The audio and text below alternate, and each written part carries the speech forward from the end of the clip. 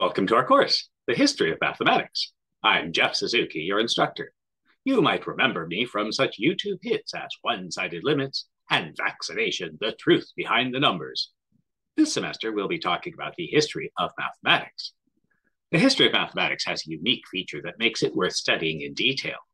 If it ever worked, it still works. In other words, if a mathematical method got the answer right in 3000 BC, it will still get the right answer today.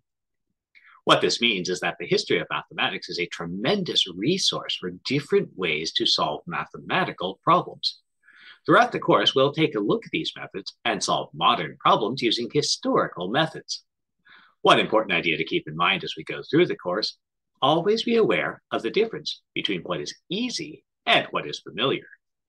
The way we write numbers today seems easy, while the way the ancient Egyptians wrote numbers seems complicated.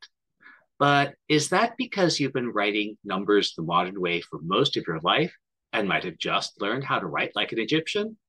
And so the question to ask is really, is the Egyptian method really harder or is it just unfamiliar?